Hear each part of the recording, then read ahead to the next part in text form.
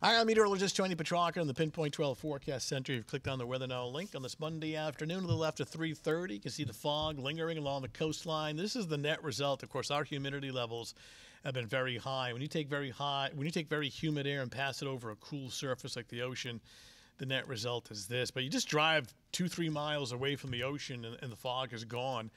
So when we switch over to, you know, you go to Lincoln, clearly there's no fog in the northern part of the state, and you actually got a blend of both clouds and some sunshine. So it's more confined to the coastline, the fog, and that'll continue tonight through tomorrow morning. Uh, as of now, we're taping this as of 3:30. Really, not much in the way of any widespread showers of thunder yet, but it's on the way for later tonight.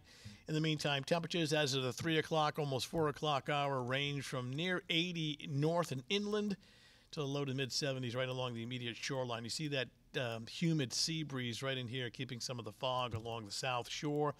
Uh, threat tracker uh, now, you know, next several hours now through 7, 8, 9 o'clock this evening, we're doing okay, but it's later tonight.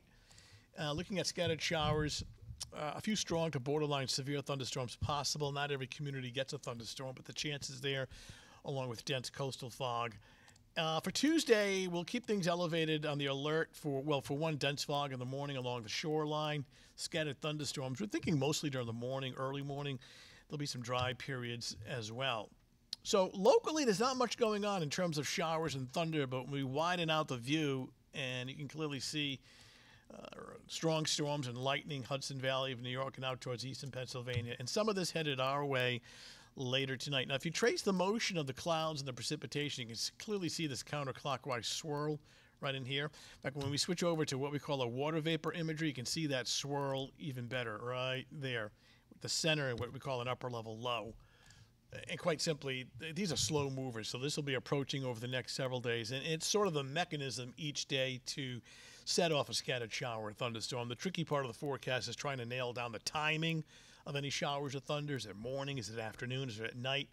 I think this next opportunity for thunder and showers would be later this evening, overnight, and into very early on Tuesday morning. Now, as far as the risk of not just general thunderstorms, but severe thunderstorms, now through the overnight into early tomorrow morning, the higher risk is right out in here.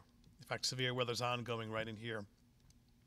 Our risk is, is considered marginal. So there's a scale as far as severe potential from one to five five being the highest. We're down in here. So there's a marginal risk uh, later this evening and overnight towards early daybreak tomorrow morning for some thunderstorms to be borderline severe. So we're going we're gonna watch the situation closely. In the meantime, uh, take a look at the forecast. Uh, here's 7 o'clock. Not much going on thunder wise, but then notice how it really starts to light up as we get closer to midnight, one, two, three. This is three, four o'clock in the morning. Some stronger storms coming through while we're sleeping. And even into early Tuesday morning, 7, 8 a.m., a leftover shower or, or downpour or thunderstorm. And then during the afternoon, we start to see some breaks in the overcast, partial sunshine. Should boost temperatures up to about 75 to 80. Uh, wouldn't rule out a shower or a thunderstorm during Tuesday afternoon. Just think the better chance would be early in the morning and then another area of showers and thunder trying to reorganize later on Tuesday night around 10, 11 o'clock. So, bottom line, it's relatively quiet right now, but it, we'll keep an eye to the skies we get closer to the midnight hour and overnight and pre dawn while we're sleeping and towards daybreak tomorrow. Uh, the slightly higher chance of a, of a round of some strong thunderstorms coming through.